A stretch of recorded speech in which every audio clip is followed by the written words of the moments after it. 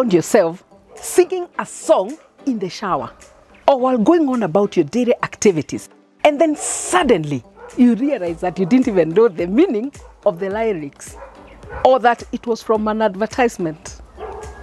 That's the effect the Jerusalema hit song had on many people all over the world. Jerusalema ikayala The Jerusalema song by South African singers Master KG and Zidoke seems to have presented the world with an elevating and inspiring experience at this time of challenge and uncertainty. The song has brought hope to a world ravaged by the pandemic, which impacted travel, social interaction, and partying and events. The Jerusalema Dance Challenge seems to have caught the imagination of millions of people all over the world from all walks of life. Videos emerged online from all kinds of people, from police officers to construction workers, from nuns to medical workers, from corporate executives to students and even fuel attendants. Even the army in some countries did the Jerusalema Dance Challenge. The Jerusalema Challenge dance went viral, and this was global, from Africa to the world. This dance became a symbol of hope across the world, from Angola to Kenya, from Italy to the US, from Portugal to Australia. No one was left behind. All kinds of institutions have participated in the Jerusalem Challenge, from insurance companies to wildlife services, from prisons to hotels, from training organizations to political groups. Actually, the Jerusalema dance that I found to be quite interesting was this one done by the Kenya Wildlife Services, where you see the animals appearing to dance to their Jerusalema challenge. They have the elephants, then they have the, uh, I think it's a hippopotamus, all of them looking like they are dancing to the Jerusalema challenge together with their rangers.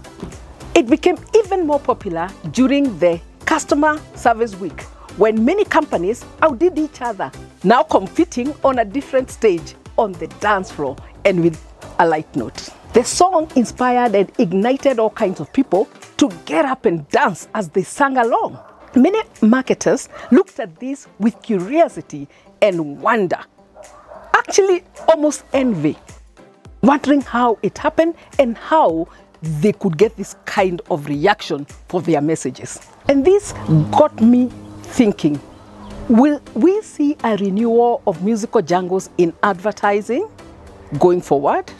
What lessons can marketing people learn from this? What are people looking for? Maybe that's the first question to ask. What are people looking for? Are people looking for inspiration, involvement, engagement? What do they need? What led to this exuberant reaction to this song and dance, even from those who generally do not dance? Is it the need for engagement, involvement, or interaction? Is there room for more engaging advertising jingles? What do people want? What do they need? What do they aspire to at this particular time, especially now when we think about how the world has been shaken by the pandemic? How do you involve people more in the current context? Now, in my line of work in research business, we sometimes get assignments to test advertisements. And in the past, we used to test some advertisements with musical jingles. This is to assess the ad's effect on people and how they influence the customer's feeling, attitudes, and behavior. However, in the recent past, we have not seen many advertisements with jingles. And this has been a global change where jingles have been going down, and particularly people argue that it has a lot to do with the change in the way people consume media and the low span of attention that consumers seem to have, that we all seem to have actually.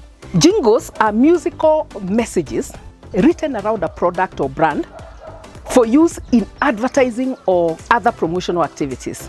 They are like extended musical slogans. They carry a message while adding the value of entertainment.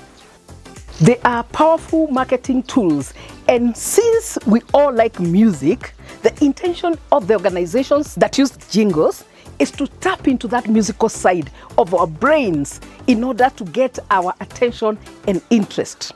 Jingles are used to enhance interest in the communication and to help with memorability. The ease of remembering. You know how easy it is to remember a song compared to words and you know messages like made of just words? The main use of jingles in advertising is to promote a product, a service, or business.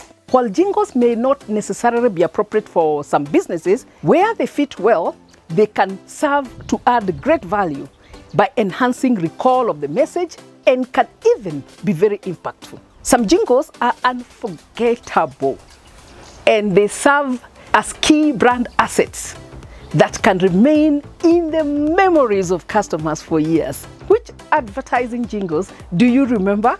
You know, I'm trying to think. I can uh, I can remember no soup, and I don't know whether that product even still exists in the market, but the song sort of stuck in my mind. And there was also this one of uh, is it Ariel, where somebody goes singing and dancing. Jingles are frequently designed to repeat the business name or the product name in clever and amusing ways. Because of their catchy nature, consumers are also likely to mentally rehearse or keep singing and repeating the jingle in their minds. Musical jingles are an effective means of uh, communicating simple messages about a brand, and when done well, they can help build support and loyalty for a brand. Globally, there has been a decline in the use of jingles, mainly because of the changing habit with regard to how we use media these days. In the past, people used to sit and watch TV attentively and without so much disruption. Today, of course, you know everybody is on their phone even as they are watching. And this has made it harder for jingles to get the attention that they need. And of course, it's become complicated by the fact that the connected consumer has all manner of devices and apps calling to their attention and therefore limited attention span. So to get the benefit from an advertising jingle, it has to be so good, so inspiring, so engaging that it can break through the barriers and get the customer attention the way the Jerusalema song and the dance challenge did.